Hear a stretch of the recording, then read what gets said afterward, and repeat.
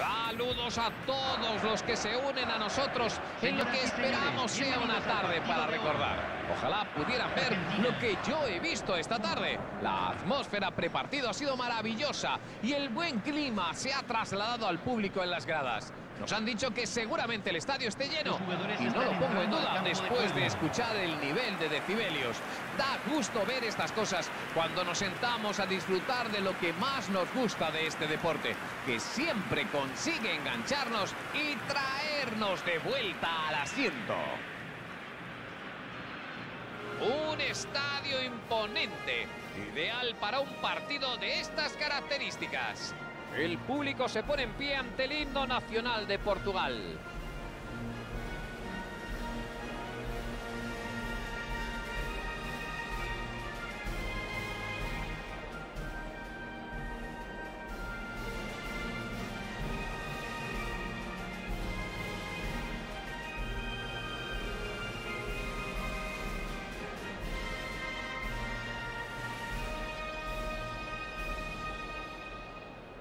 Vaya, ha sido impresionante. Seguro que este también lo es.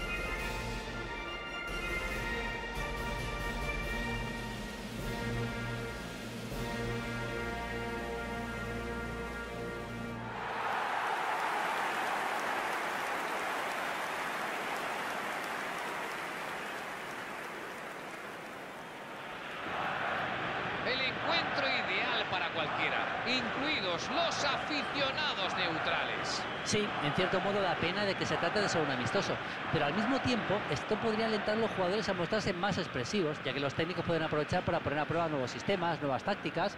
Es lo bonito de los amistosos. En cierto modo podríamos hablar de un partido de entrenamiento previo a la próxima gran cita de cada conjunto. Como, como le dejen libre, seguramente marca un gol hoy.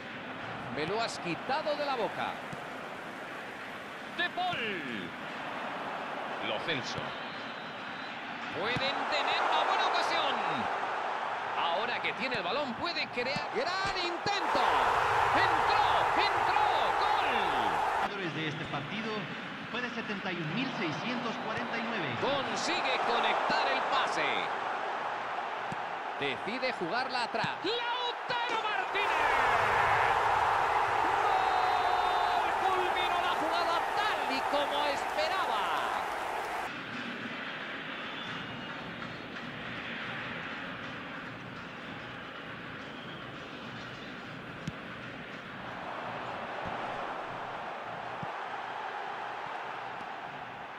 Intenta colarla.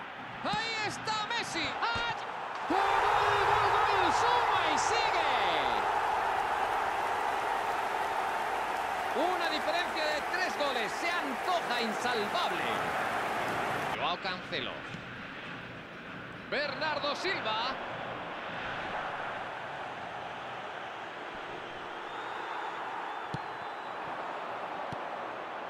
De Paul. Interesante balón.